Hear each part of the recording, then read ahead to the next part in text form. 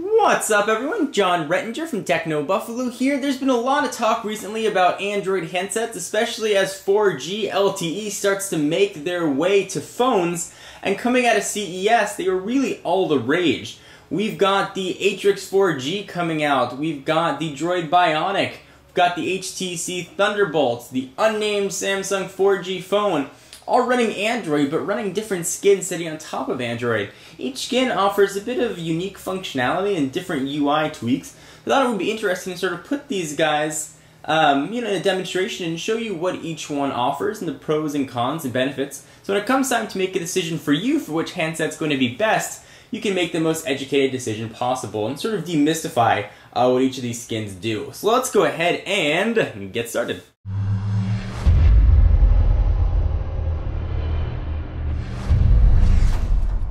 So I figured before we look at the skins, we're going to need sort of a baseline comparison. Uh, so what I've got in front of me right now is stock Android. This is 2.3 Gingerbread running on the Nexus S. This is what Android looks like in its raw form, which is actually pretty nice, and a lot of people tend to prefer it. And oftentimes, I tend to prefer even stock Android. So you've got an array of icons. Of course, one of the nice things about Android is that it does run widgets, so you can put little widgets running on top of it, and we'll show you what those look like in different skins. Uh, we've got a panel of home screens. You got three buttons at the bottom. Go ahead and see what the icon tray looks like. Got a bit of a 3D uh, effect right there. The keyboard is relatively nice on stock Android. Go ahead and show you what that looks like. We'll jump into messages real quickly. We'll go ahead and create a new message. And you can get you can customize this really any way you like. You can add different keyboards. You could add Swype. You can do a lot with Android. You can again you can sort of make it to fit your needs. Uh, and that's really where these skins come in. There's how the manufacturers thought that we might want to use the phone uh, and improve on the stock Android experience. So this is a very short overview of what stock Android looks like. Let's go ahead and bring in contender number one. Uh, let's bring in Moto Blur. Alright, so the first skin we're going to take a look at is Motorola's Moto Blur. You can tell because it's got that Moto in it.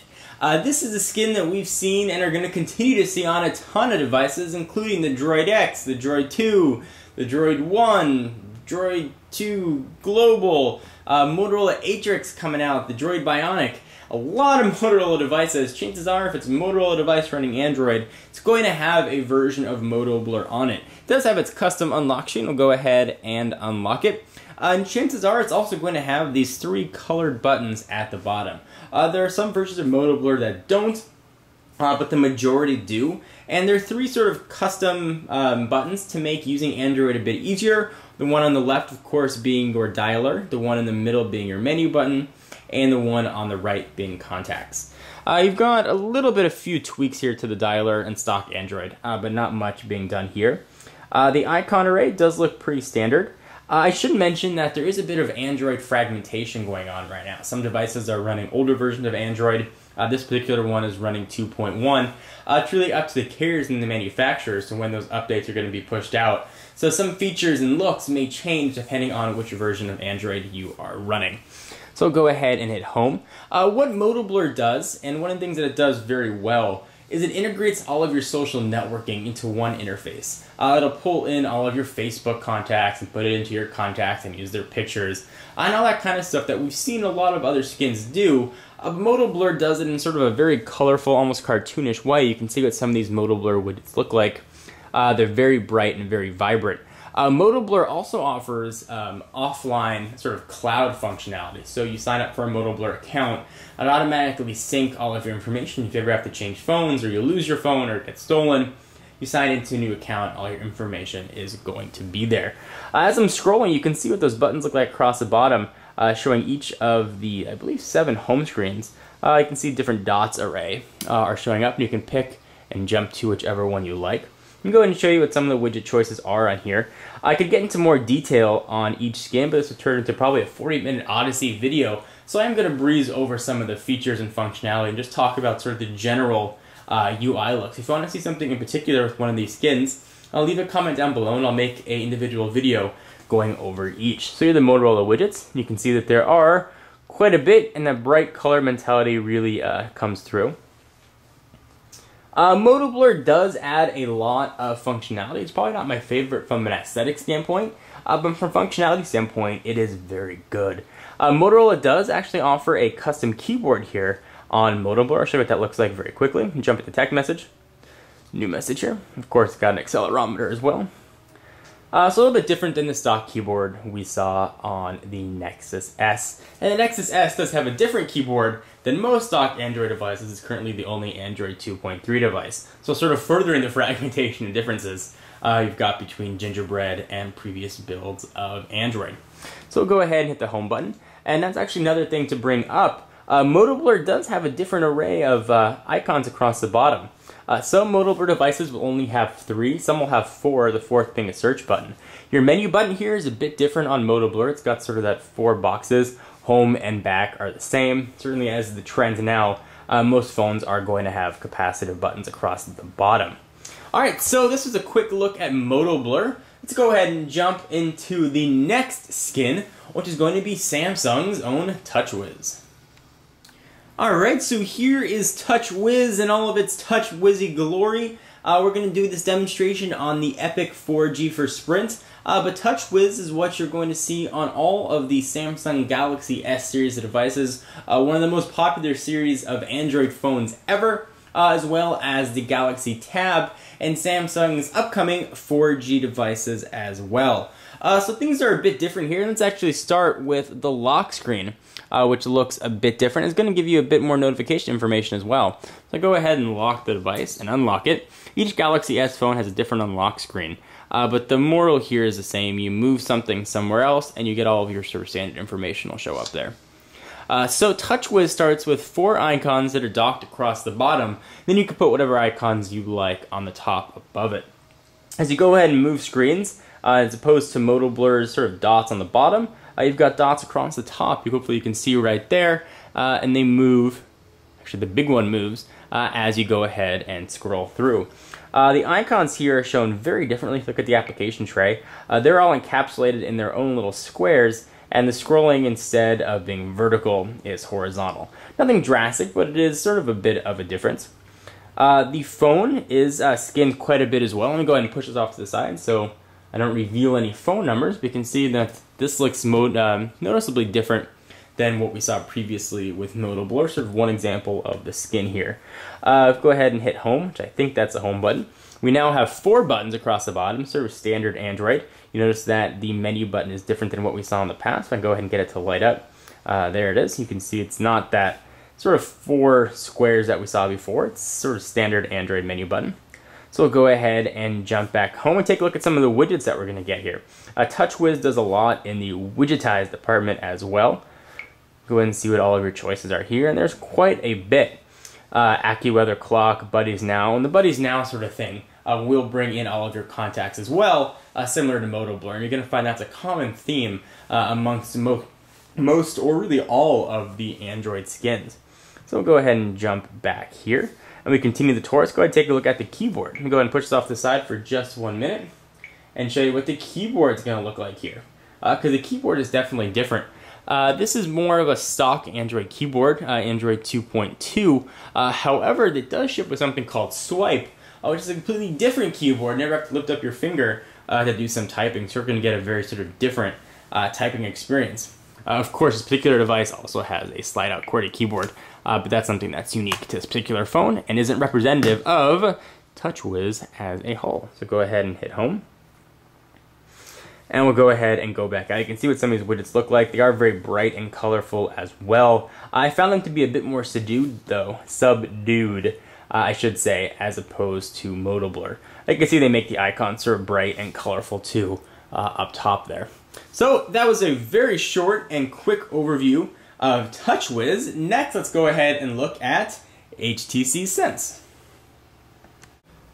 Alright, so next and last up in our skin tour is the HTC Aria. Uh, and this is, of course, going to be demonstrating HTC Sense. Go ahead and show you what the unlock screen looks like and slide this down. I should mention that there is a newer version of HTC Sense available. See some of the cool weather stuff going on right there. Uh, available on the Desire HD, which is actually not released in the US, so I don't have it here to demonstrate. Uh, one of the key differences you're going to see on the Desire HD's version of HTC Sense is the ability to tie in with HTCSense.com, uh, which are going to let you download custom skins. It'll change how these icons at the bottom look. um, that you sort of further customize your device. And there's an even newer version coming out, which we saw demonstrated at CES on the HTC Thunderbolt, which is a 4G LTE device coming to Verizon Wireless sometime this year. Um, it'll probably make its way to other HTC devices. But enough of what's coming and what might be available. Let's talk about what you are going to get available now with HTC Sense, which is really one of the first UI skins that we've seen uh, permeate the marketplace. We actually first saw HTC Sense, which was previously called Sense UI, on the old Windows Mobile. It's actually Windows Mobile, I think maybe 6 or 6.5, uh, was the first that had a version of HTC Sense. Uh, we sort of saw that transition over to Android, and sort of once they moved over to Android, it's really come into its own uh, as one of the premier, my actually preferred uh, Android skin. So you've got three buttons across the bottom, again remembering sort of that Android custom uh, fragmentation. These icons may look a little bit different depending on what device you're using. So go ahead and go back to the home button. And again, you've got the four sort of standard buttons, although instead of uh, an icon representing menu, this particular one actually says menu. It's going to depend on which device you are running. So HTC Sense has a cool new couple new cool features. You saw that clouds sort of swarm through here. It's got some 3D weather action. Uh, you can jump from screen to screen like all the Android uh, skins we've seen by swiping across. And there's a little indicator at the bottom right above now phone and those swooping icons. You can see where it is. But you can also, if you do a little pinch action, go ahead and see if it'll work. There we go. Uh, you can go ahead and jump to whatever home screen you choose and you can move those around uh, and do some tweaks. So you can see my battery's almost dead. Go and take a look at some of the custom skins and custom widgets that you're going to get in HTC Sense. Uh, and HTC is always adding quite a bit more, so your device may have different widgets uh, than what we have right here. Let's go and check a look at widgets. So you can get more HTC widgets. One of the cool things, you can go ahead and download a lot more. Uh, I find these to look a little bit more professional. They're less colorful and less bright, uh, perhaps geared to maybe an older audience, uh, but they all are very, very, very functional. So go ahead and go back. This will also pull in and combine all of your social media and integrate your Facebook contacts with your contacts, so use their pictures uh, and the rest. So this does have a custom keyboard. Let's go ahead and see what that looks like. Go ahead and jump into new message. Tap for new message. And there is what HTC's keyboard looks like. And certainly you can put in your own keyboard if you like. Uh, this is primarily what you're going to see with HTC. Now they've taken the skinning probably a few steps farther uh, than Motorola and Samsung have. Uh, even things like the menu and the settings uh, have also been skinned. You can see that goes through uh, even deeper. And you go through sort of two or three steps and you still see uh, sort of little notices uh, that Sense UI is there and that you're not running stock Android. It's probably a deeper skin that we've had with the other two. Uh, one of its hallmarks is the sort of big clock with the weather integrated into it.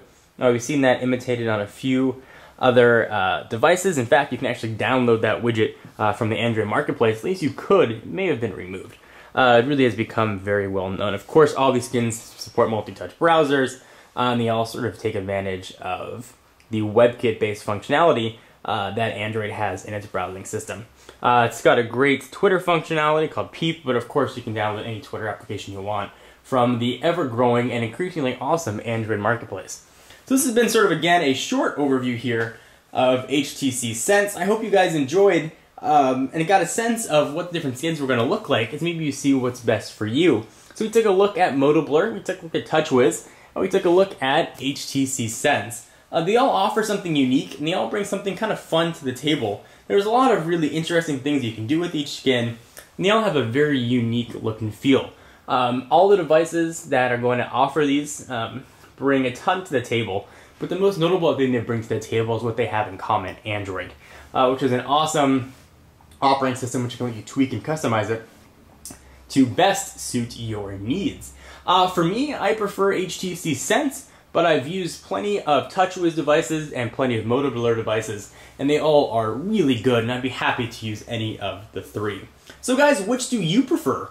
Any skin that you like? Do you prefer Android naked and raw? like we saw on the Nexus S, or do you like it all gussied up and ready for the ball uh, in one of its skins?